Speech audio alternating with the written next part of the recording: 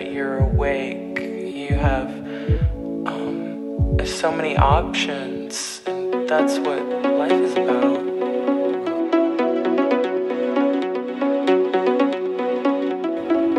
Well, how do you feel?